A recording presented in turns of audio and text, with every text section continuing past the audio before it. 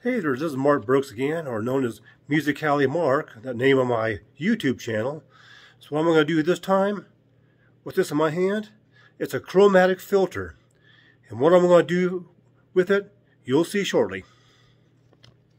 Okay, with the room darkened, you can see on the sofa I have a flashlight. I'm going to put this filter over the lens and see what happens.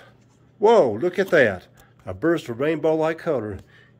You could even uh, turn the filter around, you get that uh, you can turn the effect around. We'll even zoom in and zoom back out. And this tree in the corner with the lights on it, put the filter over it and see what it does. So, what am I going to be doing with this filter?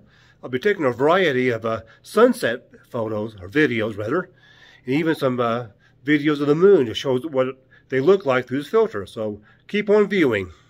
Okay, here's a cloudless sunset, no clouds to make any effect, so the sun setting behind the tree. We'll put the uh, filter over the lens. See the effect it has. Here, even zoom in.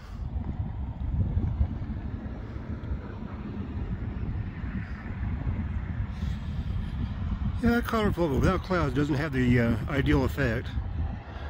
So hopefully we'll have a clear, a cloudy sky later on. Here's with the sun fully shining, no clouds obscuring it. Put the filter on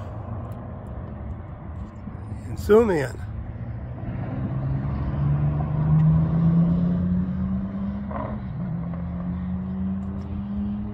Here's another second sun with cloudy skies and some uh, aircraft contrails. We'll put this uh, chromatic filter over the lens and see what that looks like. Yeah. Even zoom in.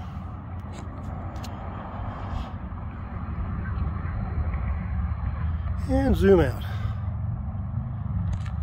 So, as I said earlier, I'll even do a video of the moon with this a filter over the, over the lens and see how it looks. As you can see, it's a oh, out of focus. You get back. Okay, there you are. Much better. Yeah, look at the moon just bursting with the color. Yeah.